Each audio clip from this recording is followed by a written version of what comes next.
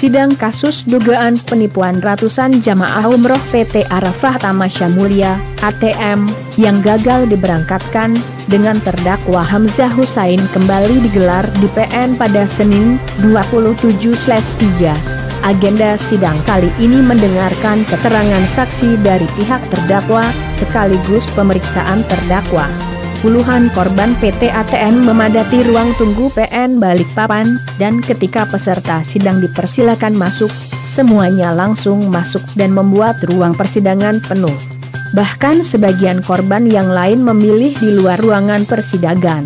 Usai peserta sidang memasuki ruangan Ketua Majelis Hakim, Mustajab SH, MH yang didampingi Hakim Anggota Bambang Ternggono, SH, MH dan Agnes Hari Nugrahani, SH, MH langsung membuka jalannya persidangan.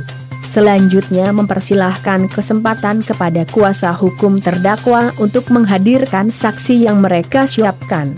Akan tetapi, karena dua saksi yang meringankan terdakwa tidak ada, agenda sidang pun dilanjut pemeriksaan terdakwa. Dalam persidangan, terdengar majelis hakim memberikan pertanyaan kepada terdakwa seputar berita acara perkara, bab, yang mereka terima dari pihak kepolisian. Dan diketahui, sejak berdiri tahun 2015 yang lalu, PT ATM sudah memberangkatkan 13 jemaah untuk umroh. Adapun harga yang mereka tawarkan Rp 13 juta pada tahun 2015 paling murah pada tahun 2017, turun menjadi 20 juta bahkan ada yang sampai 14,5 juta. Kenapa bisa berkurang biaya umrohnya dari tahun sebelumnya dibanding tahun ini? Kan itu pertanda bahwa pengelolaan PT ATM tidak bagus, cecar majelis hakim.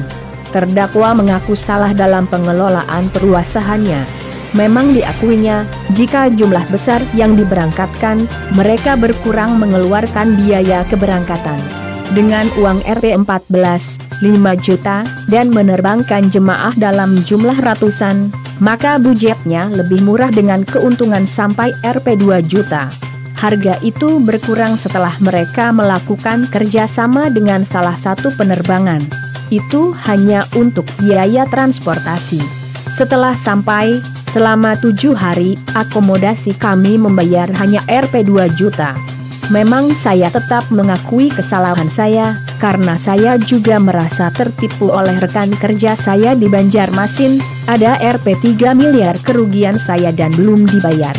Tanpa sepengetahuan saya diberangkatkan 400 jemaah dalam satu kloter, tapi ada 150 jamaah yang gratis, ujarnya. Oleh karena banyaknya yang diberangkatkan umroh gratis, Majelis Hakim pun menilai bahwa untuk biaya gratis tersebut, biayanya diambil dari uang jamaah yang belum berangkat, hingga terjadi kehabisan dana. Usai mengajukan pertanyaan, Majelis Hakim pun mempersilahkan JP Uriana Dewi dan Hendro untuk mengajukan pertanyaan. Dalam PT ATM, dari lima nomor rekening, apakah Dain Umroh sama pengelolanya dengan uang pribadi terdakwa tanya JPU. Hamzah membenarkannya.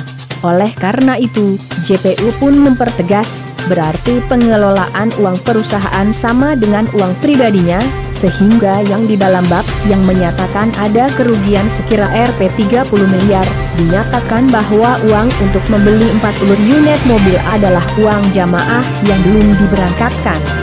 Benar saya membeli 40 unit mobil secara kredit untuk memperlancar usaha di beberapa daerah. Uangnya dari perusahaan, jawab terdakwa. Setelah JPU mengajukan pertanyaan, tim kuasa hukum juga diberi kesempatan untuk mengajukan pertanyaan kepada terdakwa.